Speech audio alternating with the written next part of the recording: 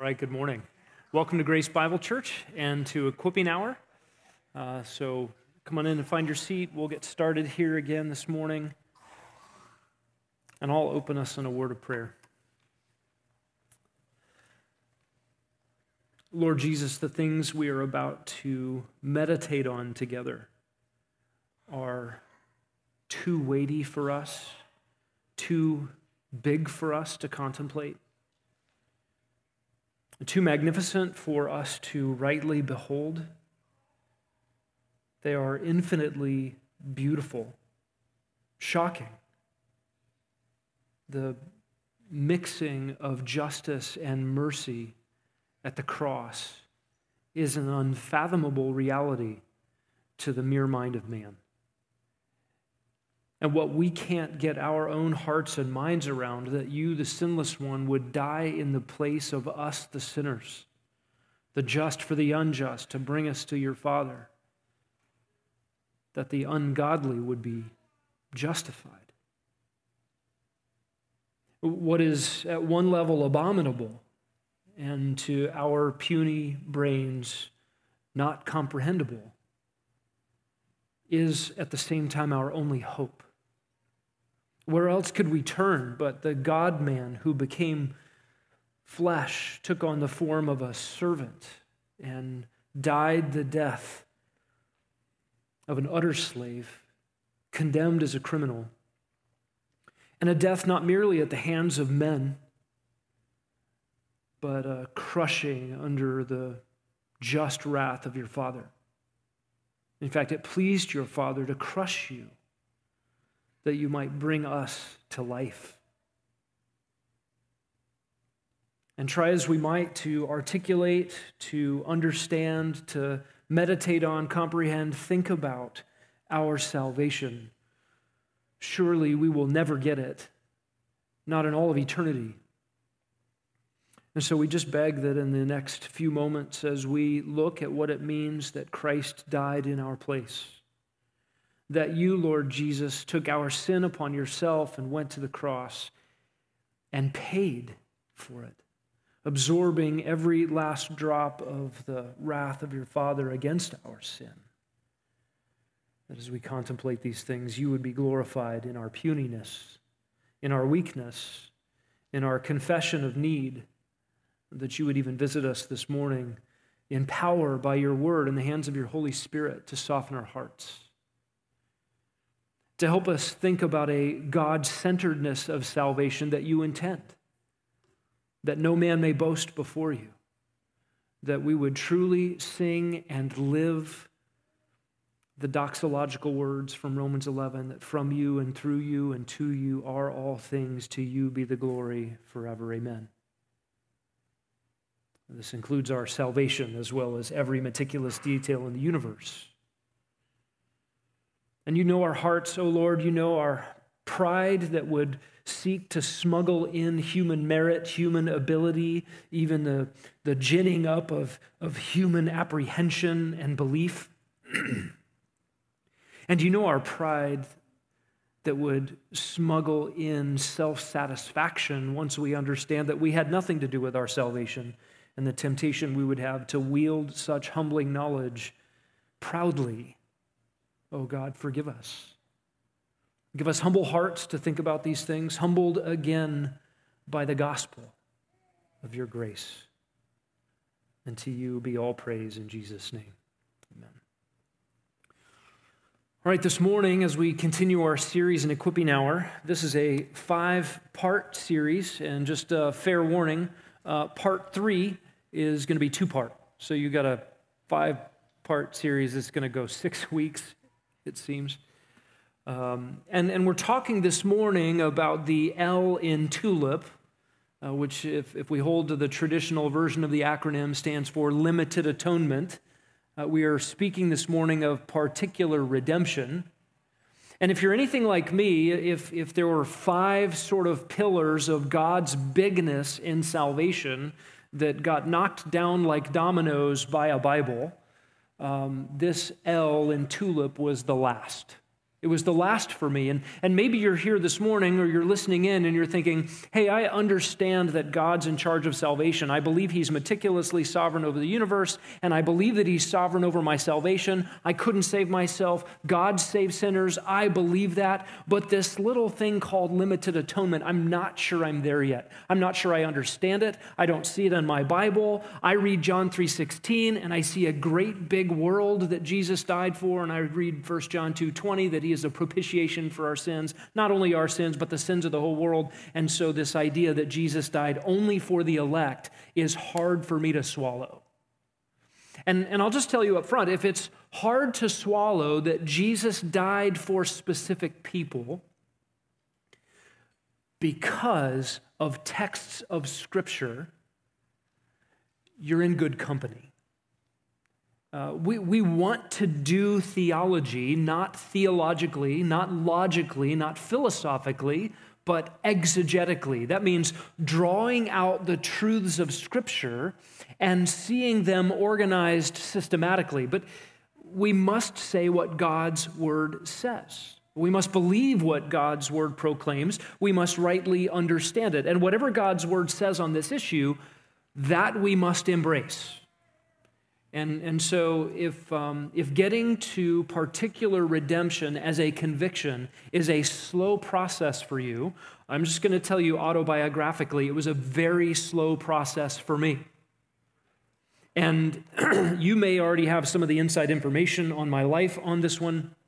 I will just confess to you that um, a young lady that I was interested in happened to be a five pointer, and I was a four pointer. Now, that would be the wrong kind of incentive to switch camps, as it were. And um, her father uh, asked me to consider some things, some questions that I'll put before you today, some questions that made me rethink my assumptions and made me re examine some scriptures. And while Ashley Anderson did never say, You can't date my daughter if, I certainly felt the weight of that implication. I don't know if you intended that. But it became an important issue for me. Uh, this is important to this girl I'm interested in. It's really important to her dad. uh, I wonder if I've turned over all the stones I need to overturn on this. And so I began a quest in my Bible of reading passages because I would not yield on the question for whom did Christ die until the Bible wrestled this doctrine from my cold, dead fingers, right? That This was going to be a, a yielding only at the behest of God's word clearly understood. So I did a couple of things. I looked at every passage that related to the question, for whom did Christ die, that I could find. And I read John Owen's book, The Death of Death in the Death of Christ. That's not an easy read, that's not a fast read. Um, but there is no text in my mind outside of Scripture that answers John Owen's arguments in that book. I'm going to recommend some resources to you throughout this series, one of which is on our book table. It's called The Five Points of Calvinism. Uh, it is written by uh, uh, Curtis Thomas, uh, Steele, I can't remember Steele's first name, and Lance Quinn. So Steele, Thomas, and Quinn. It's on our book table. Uh, if, there, if there aren't enough copies, uh, when you get out there, when you rush out to the book table after equipping hour, just ask Omri. He can order some more. Um, so I'll recommend that book. But if, if, you, if you're unsettled and are willing for a sort of year long challenge, uh, reading wise, that's difficult to read, but but covers every issue in finite detail. I think there's no finer work than John Owen's The Death of Death in the Death of Christ. Um, so I would commend that to you. And I would just say autobiographically, that is a book that reshaped my thinking on this issue uh, because he dealt with the theological issues, the logical issues, and the philosophical conundrum, conundra in the issue. But then halfway through the book, the, he turns the corner and deals with every text of Scripture exegetically that deals with the issue. So um, there's no original material in what I'm going to share with you here today. I have been discipled in these things by others who have examined Scripture, and I have been pushed back to Scripture on these things. So, uh, if I unintentionally quote others that you've read or heard on this, um, that means we're probably treading some safer ground than me just coming up with things. So, when we think about the doctrines of grace, we've divided it up into five points uh, total depravity, unconditional election, particular redemption, irresistible grace, and perseverance of the saints, or the preservation of the saints. We'll be talking through uh, those last couple with some different terminology. But all of this, frankly, flows out of depravity. We talked about that last week. That if we get depravity right, if we understand the Bible's assessment of what man is really like, if we understand what God says about what the problem is, that's going to lead us to the correct solution. And particularly, I want us to think about the problem of inability flowing out of the doctrine of total depravity, right? No one can come to me unless the Father draws him. No one can come. No one is able to come from his own strength, from his own abilities, from his own desires, even from his own categories of belief and or rejection or acceptance. This is why we find in the scriptures that repentance is a gift given, that faith itself is a gift given of the Lord. And when we understand what spiritually dead man is capable of, which is nothing pertaining to spiritual life, and that a supernatural work of the Holy Spirit called new birth is required that produces this supernatural, God pleasing response to the gospel called faith and repentance that's given as a gift. When we understand these things, then frankly, all the five petals of a tulip flow together in other words, we're not going to find contradictions in Scripture between a right doctrine of total depravity and the purpose and efficacy of the cross work of Christ. We're not going to find a, a, a distinction, a difference, or a discontinuity between all those whom he foreknew, he also predestined to be conformed to Christ, as if that's at odds with Jesus came to lay down his life for his sheep. So all of these things go together. Uh, they go together not just logically, philosophically, theologically, but they go together biblically. So this morning we're looking at this third section, particular redemption. I want to we're going to talk through some descriptions and definitions of a couple different views on the atonement. We're going to look at some particular redemption passages. Those are the Jesus died for his people verses in your Bible. And then we're also, and this will be next week, we're going to look at passages that seem to indicate a general or universal atonement. Uh, and I'm going to introduce you to a group of people uh, called Every Human Being Who Ever Lived, Past, Present, and Future. Uh, as the target for whom Christ died under a universal or general atonement view. And we're going to look at passages that seem to indicate, perhaps, uh, maybe at face value, maybe at a first glance, that Jesus died for every human being who ever lived, past, present, and future. Um, and we're going to particularly zoom in on texts that use the word world and that use the word all, uh, all and every.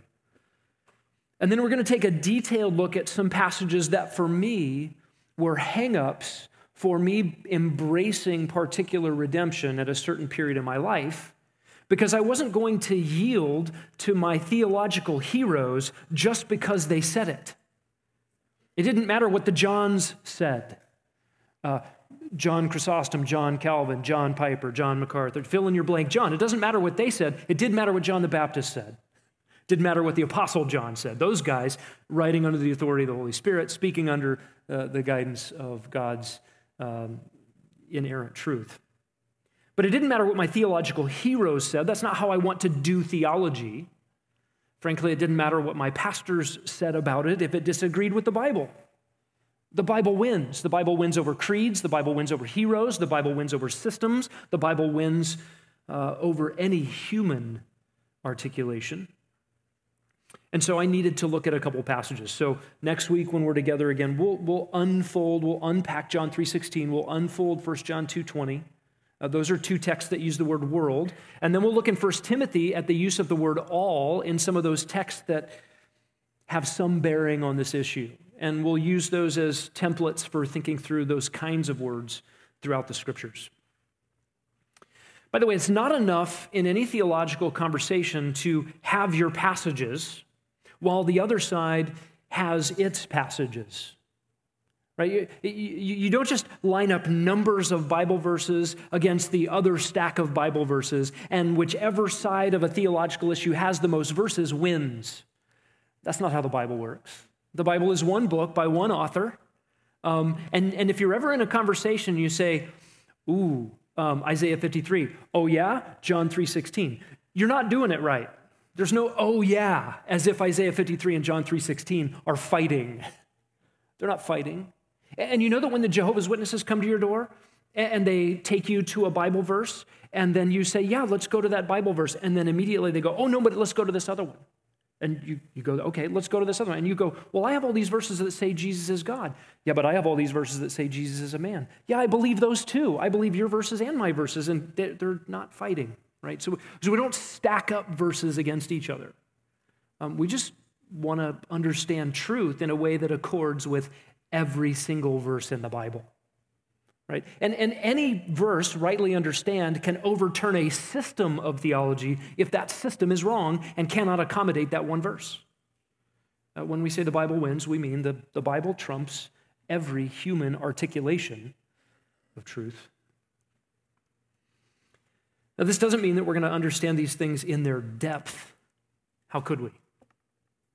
Um, we're, we're going to be something like a flat rock bouncing across the top of a lake enough times that it gets to the other side of the lake and goes up on the shore. That we're not going to sink in, much less drink in the entire lake. Not for all of eternity will we drink in the entire lake of God's plan of soteriology, how he saves sinners. These things are too big for us, too rich. Um, to comprehend things of an infinite scale is not something a finite, puny mind will ever do in all of eternity. And that's good. That means, number one, uh, we're not God. Number two, heaven's not boring. You will never exhaust what's there in understanding the depths and the glories of God and His truth. Let's talk about a couple of definitions as we start. Universalism, universalism is the view that everybody goes to heaven. That's universalism. Okay, uh, I, I don't believe anybody here holds to that view. And most universalists, frankly, don't hold to that view. They, they hold out for some sort of hell or annihilation for Adolf Hitler and you know, their ex wife and wh- whoever else they, they don't happen to like. Um, but a strict universalist would say everybody goes to heaven, even Satan. And, and there are some in print who ascribe to that. So Arminianism is not universalism. Do you understand what I'm saying there? A universal atonement view in Arminianism is not universalism. So, universalism says everybody goes to heaven. A universal atonement is simply the view that Jesus died for every human being who ever lived, past, present, and future, in the same way. But that doesn't mean everybody goes to heaven. In, in their view, heaven is lost by rejection of the gospel, by unbelief. So you can believe so as to be saved and go to heaven, even if you don't um, agree with what I think is Scripture's testimony about the reason for Christ's death, what he accomplished in his death, and for whom he died. Does that make sense? You can be saved and be an Arminian. I hope you know that and believe that and love your friends. Um, so, universal atonement is the view that not everyone goes to heaven, but that Christ's death on the cross accomplished the same thing for everybody equally. So, whether someone goes to heaven or not is conditioned on belief. Whereas particular redemption believes that Christ's death on the cross actually secures salvation for some, for God's people. So, universal atonement limits the atonement in extent on condition of belief. That means universal atonement. Jesus died for everybody. They still limit the atonement in the sense that not everybody goes to heaven. But they also limit the atonement in, the, in terms of what it accomplishes in its efficacy. Jesus' death on the cross, in that universal atonement view, does not actually accomplish salvation. Do you understand what I'm saying? Whereas a particular redemption view limits the atonement in scope, but not in its effect. So, in particular redemption, Jesus' death on the cross actually accomplishes salvation, but just not for everybody. Okay, so in both views, not everybody goes to heaven. But in one view, Jesus died for people who do not benefit from his death. And in the other view, um, Jesus came and did something very particular for a group of people for whom he saw it all the way through. That's, that's the difference. Universal atonement is potential for everyone, guaranteed to no one. Christ's death didn't actually secure salvation of anyone. Human belief secures salvation. In particular redemption, salvation is actual, guaranteed, and secure for God's people. The design of the cross of Christ and the effect of the cross of Christ are the same. What God began in eternity past, all those whom he foreknew, we talked about this last time, those he foreloved, those he was in intimate relationship with before time began. That's not looking down the corridors of time and seeing who will believe and then choosing them. That is a foreknowledge of intimate relationship, proginosko. It is a foreloving of actual persons, not a foreseeing of facts. God does not look down the corridors of time and see that somebody believed. He foreloved and foreknew individuals relationally. And all those whom he foreknew, he actually predestined to be conformed to the image of Christ. So God carries it through to completion from beginning to end. By the way, the, the, word atonement, in thinking about the extent of the atonement or the question for whom did Christ die, is not a particularly helpful word in this discussion. Uh, the word atonement is an English invention from three words at one meant. Do you see that up there on the screen? At one meant Atonement, you say it fast enough, you start saying atonement. And, and it is the idea of reconciliation. Two parties who are at enmity are brought into one. And that English word atonement, atonement, represents technical words both in the Old Testament and the New Testament, four times in the New Testament and dozens and dozens and dozens of times in the Old Testament, to describe something very specific the assuaging of divine wrath by innocent substitution. That's the idea of atonement. The, the technical original language words behind it talk about the assuaging of God's wrath. God's wrath is absorbed and done away with by a substitute death in the place of another. So when we're talking about atonement, something innocent dies so that the guilty gets to be at one with God. If we're talking about who's made at one with God, well, of course, we, we could only mean, should only mean believers, those who are in Christ, those who are actually reconciled. We shouldn't talk about an atonement that doesn't atone. We shouldn't talk about an atonement that doesn't assuage the wrath and bring two hostile parties together. If we want to talk about the extent for whom Christ died, let's ditch the word atonement and let's just frankly talk about what did Jesus intend to do at the cross? Create an equal opportunity for everyone uh, out of generosity and love? Or did he, in love, actually pay for the sins and secure salvation for his people? Th- those are the questions we're asking between the two views. So I would love it if the word atonement was just dropped out of the debate altogether. So we're really asking the question for whom did Christ die? If we deny universalism, and we should, but we affirm a universal atonement that Christ died for all, we need to ask some questions. What becomes of those who were already in torment when Christ came and died on the cross? Did Jesus pay for their sins? Right? And, and this is a sort of a loaded philosophical question. Did Jesus pay for the sins of those who were already in hell when he came? It's a, that's a question that tips us off to maybe we need to think about some things a little bit. Um, what about the citizens of hell? Um, what do they pay for in hell? If Jesus paid for their sins at the cross, is there double jeopardy? Uh, do those sins get unpaid for and, and reconstituted? Or did Jesus only pay potentially for their sins? And if so, when does he pay for them actually? Does he pay for them when they believe? Uh, these are some, some critical questions, and they may not have answers. These are sort of the, the questions of philosophers.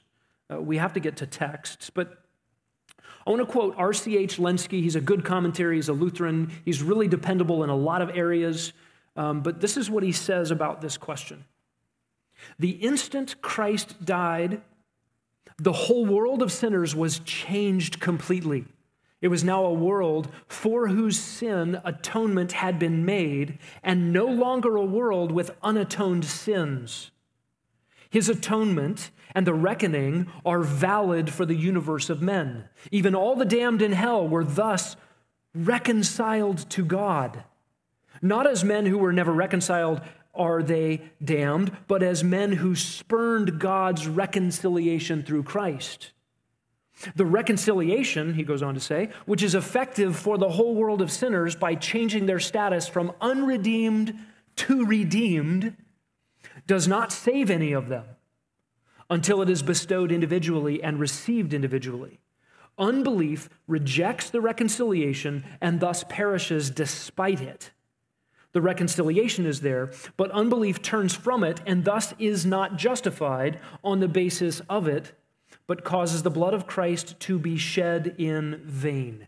This is tragedy indeed, says Lenski.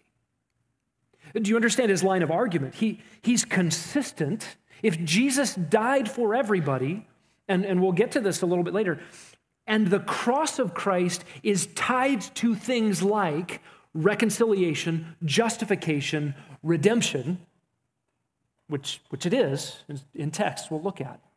If, if that's true, if Jesus died for everybody and the death of Christ is actually tied to justification, redemption, we go on the whole list of soteriological issues adoption, reconciliation to one another, citizenship in heaven, et cetera, et cetera. If those things are tied, then if Jesus did that for everybody, then those things are true for everybody. And this is where the, the theological, logical deduction runs into trouble with the Bible because you will not find the world of sin to be called reconciled, redeemed, or justified. Uh, that is where the logical deduction from a theological observation or even a textual observation, the deduction gets me into trouble. That's what we don't want to do theology that way. I've got a truth, I've got this other truth, I've got a corollary, I'm going to make a theological deduction, therefore that's true, and if that's true, I'm going to make another deduction, and that's true.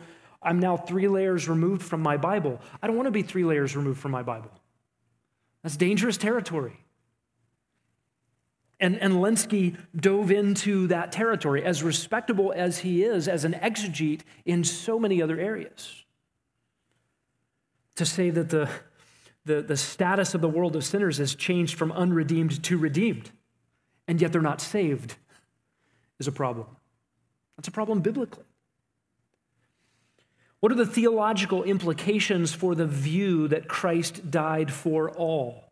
And here, all, I think I've given my definition of all in the next one. Um, uh, that's the word you see up there on the screen. Do you see it? The all capitals? All. I, I, learned a long time ago that all means all and all as ever means. Um, we'll learn about the word all next week. We'll look at passages with the word all. But I spell all that way. Um, for this argument, it's every human being who ever lived, past, present, and future. Right? That, that is what is being claimed in a use of universal atonement, that Christ's death is an equal opportunity atonement for every human being who ever lived, past, present, and future. Right? That's, that's what I will mean in this discussion with a casual use of the word all. Uh, when we get to texts, we're going to let every passage define all for us. Um, we'll, we'll discover very quickly that the word all does not always mean all, and all is all ever means. Um, the context will determine that for us. So, theological implications for the view that Christ died for every human being who ever lived, past, present, and future the removal of sin, the payment of debt, satisfaction of divine wrath, the purchase of sinners, redemption at a price of slaves from the slave market, reconciliation of enemies, all of those things biblically are made possible by the cross under the universal atonement view, but not actually accomplished by the cross work, the death, burial, resurrection of Christ. The atonement work of Christ cannot therefore be said to be efficacious. You can't say all by itself, the cross did this reconciliation, redemption, justification, forgiveness, purchase of a people for God's own possession. If the wrath of God is not satisfied by the cross of Christ, then wrath remains. And if the wrath of God is satisfied by the cross of Christ, then no wrath remains. The implication for the universal atonement view is that hell would exist not for the punishment of sins, they've been paid for, but hell exists for what? Can you fill in the blank? Unbelief, rejection of the gospel. That's, that's what I would have said years ago. That's what I did say. It's what I've heard others say. That's what uh, people in print who talk about these things, they, they answer the question why do people go to hell? For unbelief. If they start with the premise that Jesus already paid for the sins of the world, meaning every human being who ever lived, past, present, and future. The, the difficulty in that is when you come to scriptures that answer the question, why are people in hell? What does the Bible say? Liars adulterers. I mean, it just goes through the list of actual vices, not paid for vices, so that hell dwellers are there simply for unbelief, as if unbelief's not a sin. But actually, the testimony of Scripture is that people suffer under the just wrath of God because of crimes committed, crimes still on the ledger, crimes not taken care of, sins against a holy God. And the vice lists in Scripture are plethora. It doesn't take long to find them. Now, it is true that if somebody doesn't believe the gospel, they will go to hell. There, there's a reality that, that unbelief is a cause of being in hell. But why are people punished in hell for the sins still unforgiven, not paid for? By the way, is unbelief sin? The answer to that is yes. Unbelief is sin, condemnable sin, sin that must be forgiven. It's not just a category, check this box and your sins go away. No, that box itself is sin. To, to reject the gospel, to reject God, to suppress the truth and unrighteousness, to be ungrateful, all of those things, um, they are sin punishable by God. By the way, to not love the Lord your God with all your heart, soul, mind, strength, um, at its root is a matter of unbelief. In fact, I think you could trace out unbelief under every sin you could name. And if unbelief is sin, it must be forgiven, paid for. And if unbelief is to be overcome, what could an unbelieving, unregenerate, spiritually dead human contribute to faith? Nothing. It, it has to be foreign. It has to be generated. It has to be, as Ephesians 2 8 to 10 says, a gift. The whole package of salvation by grace through faith is a gift from the Lord so that no man could boast. This is why Paul rejoiced when the Gentiles were granted repentance, grace given repentance. These things must come from the Lord.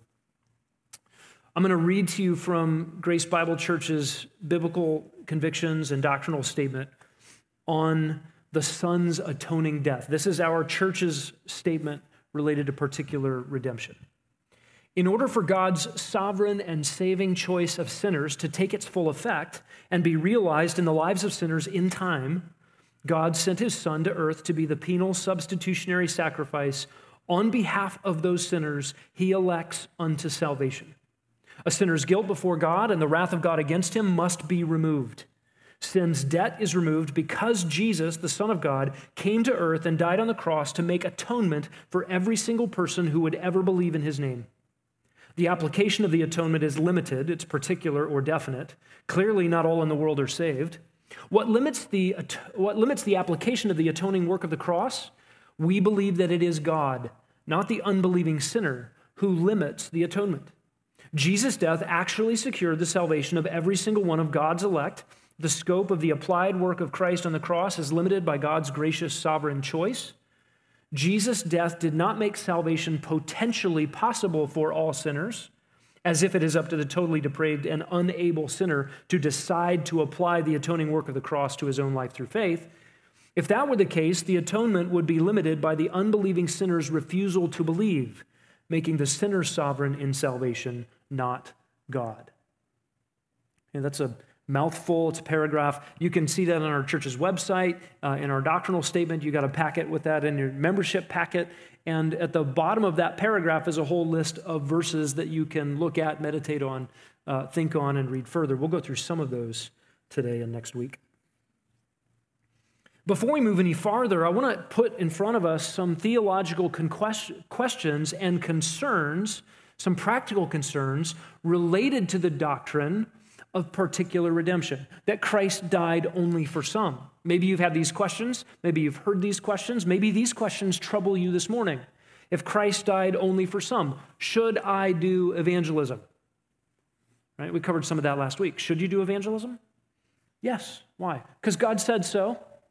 Um, as, uh, as, as one pointed out, um, the proclamation of the gospel in the face of unbelief is actually an indictment that will be held accountable for that unbelief in the eternal state. I didn't mention that one last week. Um, thank you, Steve.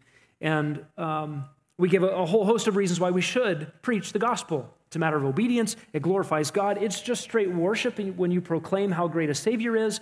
And it is the means, gospel proclamation is the means by which God brings his own to himself and is beautiful. And all of us are beneficiaries of that very thing. So, should we evangelize? If Jesus died for his sheep, I would say, well, if Jesus died for his sheep, actually secured them by his blood, and then provided the means by which they believe, which is you preaching the gospel, then yes, you should preach the gospel. you are the means by which God brings in his sheep into his fold by faith. God uses means.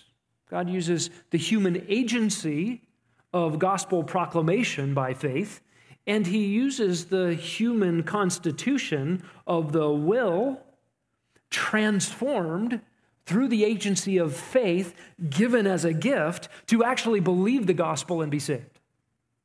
God secures all of these things, including the means.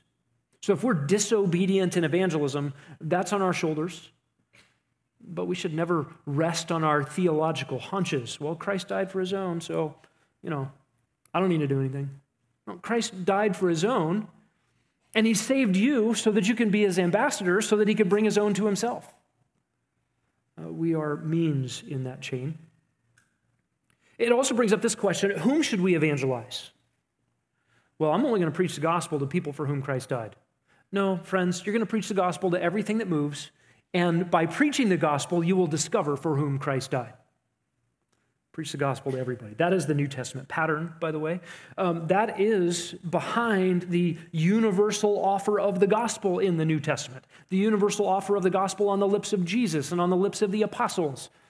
Even Paul, who wrote about God's sovereignty and salvation deeply, did not know who the elect were.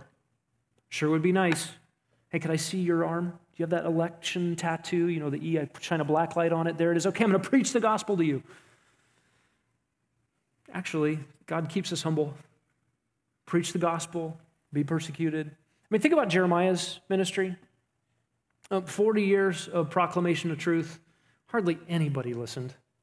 If you were Jeremiah in Jeremiah's shoes, uh, would you start guessing at who's going to be heart soft receptive to this message?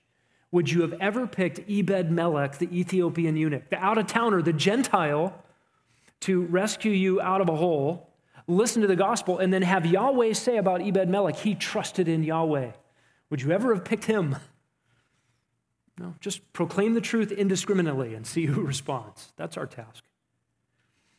Another question that comes up is Is the gospel a genuine offer? Is that universal offer? Many are called, few are chosen. The path is broad that leads to destruction, narrow that leads to life. Is it a genuine offer of the gospel, a genuine offer of God's mercy and love to say, hey, there is a Savior to anyone who believes? Anyone who will come, come to Christ. Yes, that is a genuine offer and is absolutely true. I, I, I tried to work an illustration uh, years ago. I, I, think it was the first year I was here, and uh, we were starting to disciple men um, in the what we called H3. It's now called the Trust, uh, systematic theology, and learning to preach and those kinds of things. Some of you guys might have been in that class, and um, I decided, hey, we're going to go on an evangelistic outing and we're going to go preach the gospel. We're just going to find an audience. And um, so we got in some SUVs and, and we drove up to North Tempe, pulled over the side of the road. And I'm sure the guys were thinking 6 a.m. on a Saturday morning, who's going to be out milling about to hear the gospel? And I'm kind of scared, nervous. Cold turkey evangelism is just not for me anyway. And we get out of the SUVs, line the guys up, and it's a field, and um, it's all headstones. I'm not suggesting this was a good exercise. I'd rather tell you about it than reenact it because um, telling you about it's just better. Uh, stood the, we all stood up there, and I said, Okay, go. Who's going to preach the gospel? Somebody, go first. And I wanted that picture emblazoned on my own heart and, and sort of tattooed on the eyelids of the men as we think about what evangelism is. This is Ezekiel 36 and 37. The new covenant, the Spirit working to bring to life that which is dead. Ezekiel was told, I preach to the dry bones. And what happens? The Spirit comes, joins bones together, puts ligaments and sinews on them, and covers them with flesh, and makes them live. Evangelism is proclaiming the truth to death, to dead people, spiritual corpses. And in the preaching of the gospel, the Spirit makes alive. So, can we make the invitation? Yes, make the invitation. God compels us, be ambassadors. And so we beg you on behalf of Christ, be reconciled to God. 2 Corinthians 5:21. How should we present the death of Christ? This is an important question. How should we present the death of Christ and the love of God?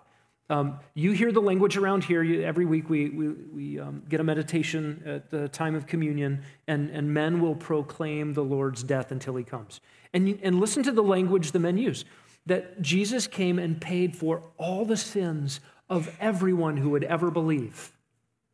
Do you hear that? That's, that's simultaneously particular and inviting. And that's on purpose. Whoever believes. So, sinner, you're sitting here this morning, you're hearing about Christ. Believe in the gospel, and you will be saved. Any of you. I don't know who you are. And Jesus paid for the sins, paid for them, actually paid for them, for the sins of everyone who would ever believe past sins, present sins, future sins, of everyone who will believe. The, the universal offer is good. Um, I want to be careful not to present the death of Christ this way.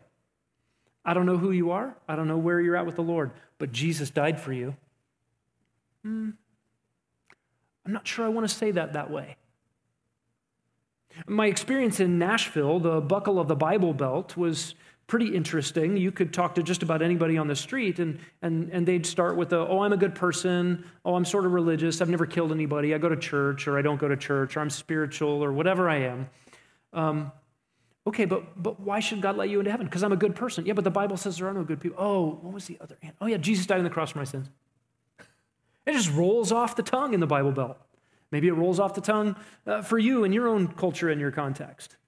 But the, the backdrop of, I've got this get out of hell free card called Jesus died for me because I heard it somewhere and it must be true for everybody. I don't know that that's helpful language. But if you come to Christ knowing that you're a sinner and He is the only Savior, then yes, He died for you. And you should be able to sing, Jesus died for me in my place. That whole idea of Jesus dying in our place is the idea of substitution that actually satisfies divine wrath and secures salvation for all who believe.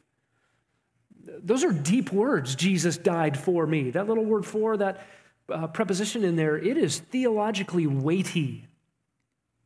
And it means that the payment's been made.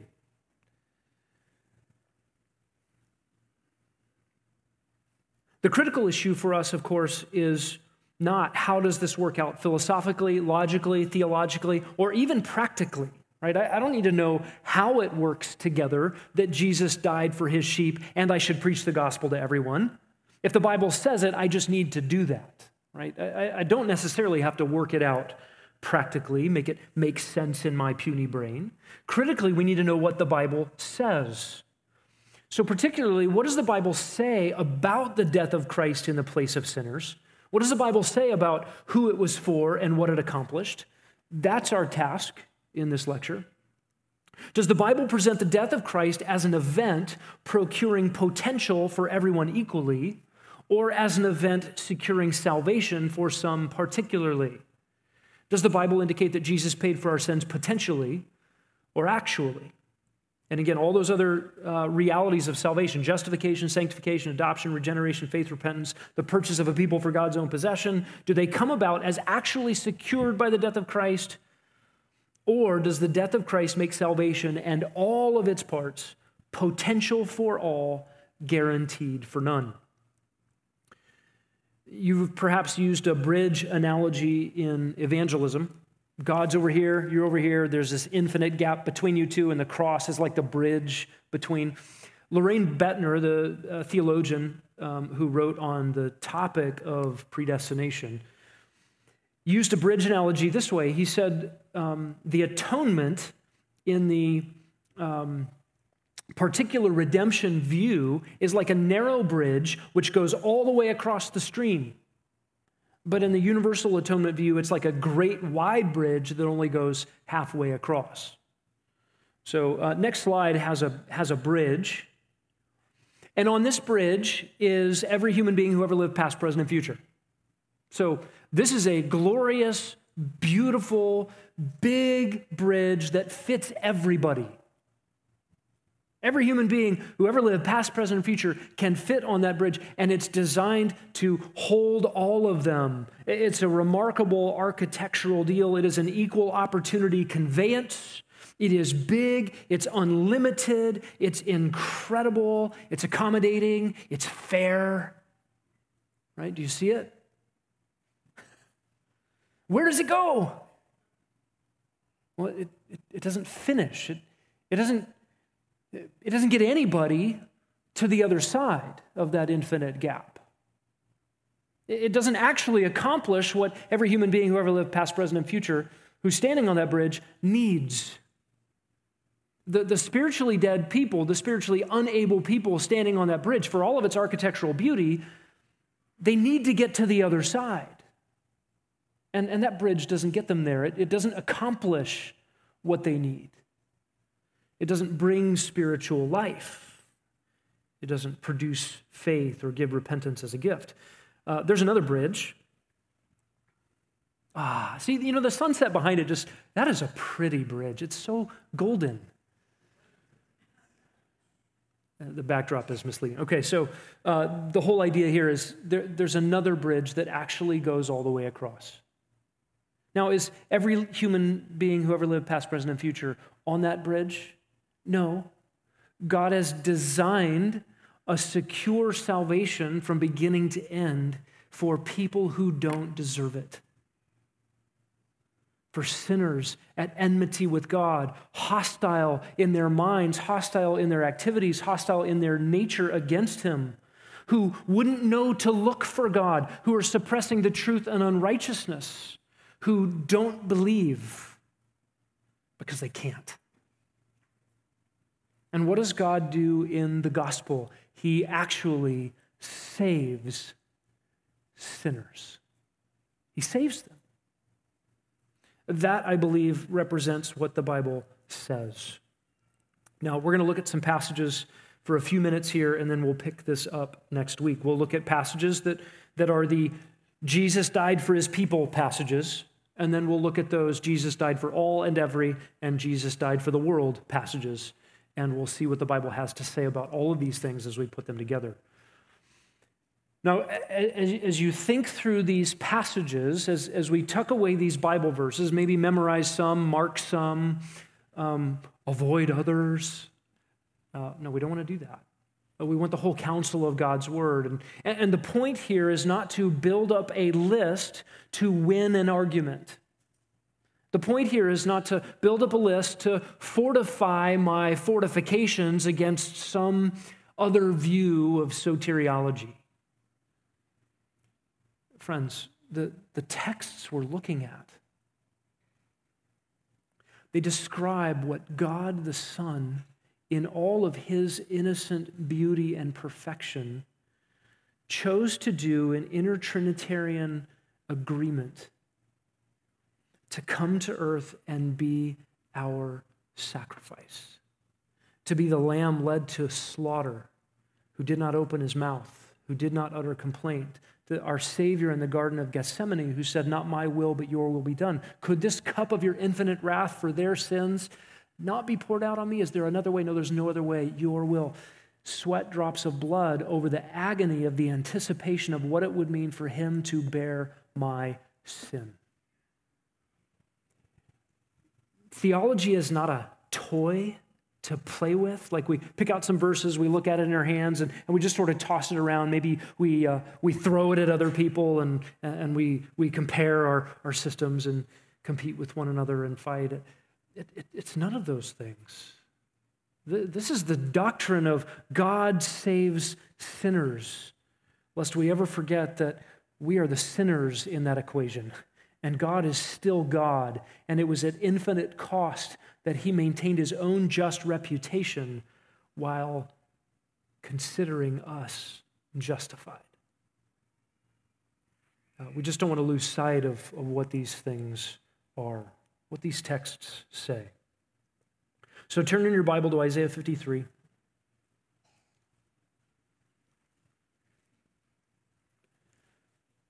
Isaiah 53 is perhaps the clearest gospel proclamation in all of the Bible, proclaimed 700 years before Jesus was a baby at Bethlehem.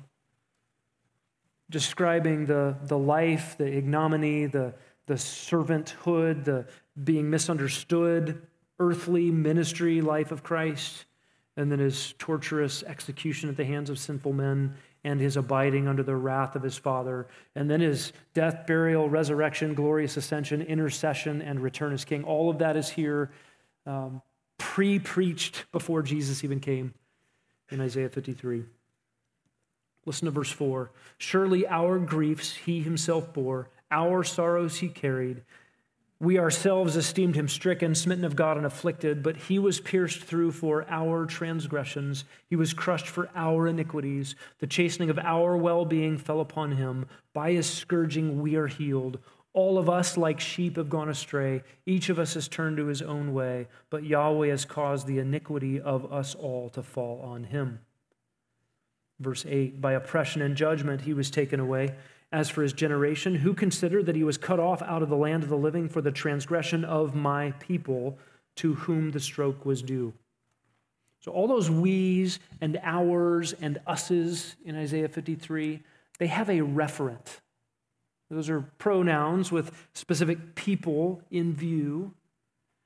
And, and I believe the people in view here in Isaiah 53 are those Jews who will believe the gospel when God pours out his spirit of grace and supplication in fulfillment of Zechariah 12:10.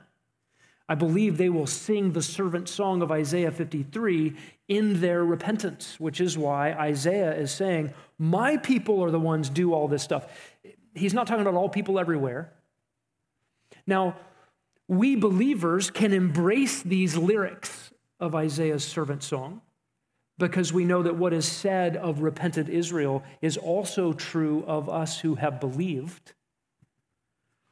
And, and yet the language is really remarkable. The suffering servant would come and be cut out of the land of the living for the transgression of my people to whom the stroke was due. Down in verse 11, as a result of the anguish of his soul, he will see it and be satisfied. By his knowledge, the righteous one, my servant, will justify the many. Do you see that? As he will bear their iniquities. Um, we don't want to make the word many be small all of a sudden as a reaction to universal atonement. It, it's a big word. That, that Jesus would die in the place of many, not a one for one, not one guy as a substitute for one sinner, but a perfect righteous one as a legitimate, wrath paying, debt fulfilling sacrifice for many. It's a great, big, huge atonement. He will bear their iniquities. Down in verse 12 again, he himself bore the sin of many. Listen to the testimony of Matthew 121. She, that is Mary, will bear a son. You will call his name Jesus, that is Yahweh saves, for he will save his people from their sins. Jesus will come to save his people from their sins. That's the testimony of him at his birth. Matthew 20, 28, just as the Son of Man did not come to be served, but to serve, and to give his life a ransom for many. Matthew 26, 28, this is the blood of the covenant which is poured out for many for forgiveness of sins. Luke 19, 10, the Son of Man has come to seek, and listen to this, and to save that which was lost. That is an actual statement of the intended purpose of Jesus coming. Not to make potential the salvation of everyone on equal footing, but to actually save. That's why he came, to actually save. Listen to John 6. I am the bread of life, Jesus said. He who comes to me will not hunger. He who believes in me will never thirst. I said to you, You've seen me, you do not believe. All that the Father gives me will come to me, and the one who comes to me I will not cast out.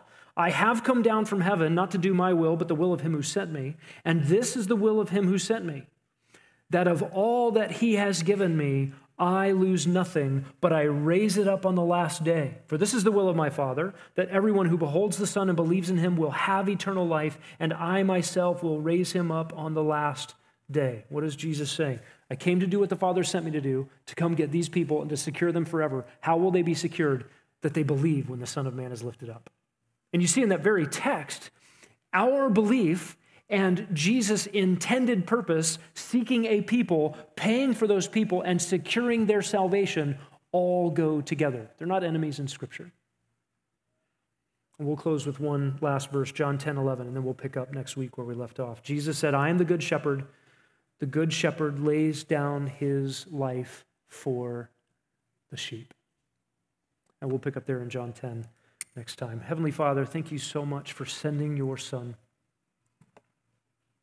We could only love you because you first loved us, and you loved us as an outflow of your beautiful, glorious, interpersonal, interrelational, intertrinitarian love.